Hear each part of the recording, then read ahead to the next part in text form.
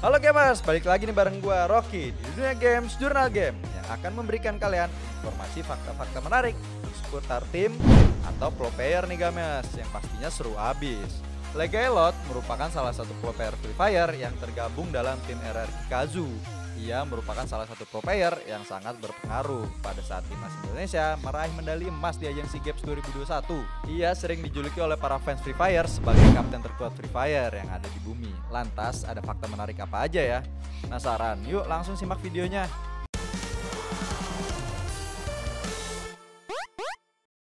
Yang pertama, sempat gak direstui orang tua.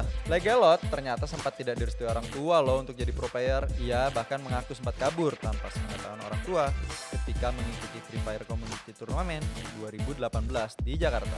Saat itu ia sedang berkuliah di Semarang dan gak memberitahu orang tuanya kalau ia pergi ke Jakarta. Untungnya timnya mendapatkan juara pertama. Kemenangan itulah akhirnya menjadi jalannya direstui orang tua untuk jadi pro player. Setelah juara, saya langsung hubungi orang tua dan bilang bahwa saya sudah tergabung di tim e-sport yang udah punya nama di Indonesia. Mereka pun akhirnya merestui pilihan karir ini. Ujarnya Lagelot. Wah, perjalanannya menuju pro player ternyata nggak mudah ya gamers. Banyak harus dikorbanin juga, termasuk restu orang tua. Bagi kalian yang mau jadi pro player, tentunya harus disertai dengan restu orang tua ya gamers. Yang kedua, kenal dengan teman-teman satu timnya melalui guild. Legalot ternyata kenal dengan sebagian besar satu timnya lewat guild. Jadi mereka udah lebih dulu kenal di dalam game karena bergabung di guild yang sama dan sering mabar. Jadi pertemuan mereka awalnya hanya terjadi di dunia maya.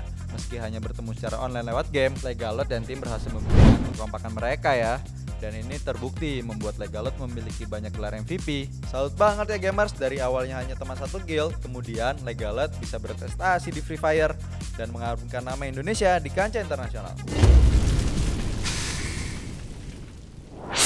3. Ingin punya kekuatan seperti Flash. Di wawancara yang sama, ia berandai-andai ingin punya kekuatan seperti Flash. Seperti yang kita ketahui, Flash adalah superhero DC yang punya kekuatan berlari super kencang.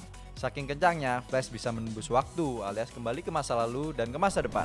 Legalot mengaku ingin bisa kembali ke masa lalu untuk bertemu para pejuang-pejuang masa lalu. Wah, ternyata Legalot juga punya sisi kocaknya ya gamers. Pastinya ini membuat para fans Free Fire terhibur karena kehadiran Legalot di kancah Free Fire.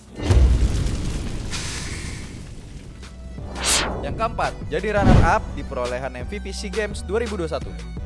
Legalot menjadi runner-up dalam perebutan gelar MVP di SEA Games 2021 game Free Fire. Ia hanya terpaut satu kill saja dari rekan sesama negaranya, yaitu Raf. Meskipun ia memiliki role yang kurang bisa mengumpulkan kill di timnas Indonesia, nyatanya Legalot mampu memberikan performa terbaiknya di SEA Games 2021 dan hampir saja menjadi Terminator.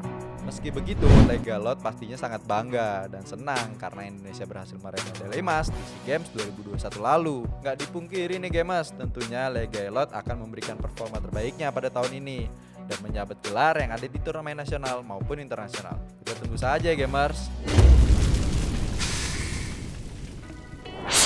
Nah, itulah beberapa profil dan fakta menarik mengenai RRQ Legalot. Memang menjadi pro player bukan perkara mudah ya gamers, ada banyak faktor pendukung dan juga kerja keras yang ada di dalamnya. Sekian dulu dunia games jurnal game kali ini. Gua Rocky pamit, jangan lupa untuk like, komen, dan subscribe.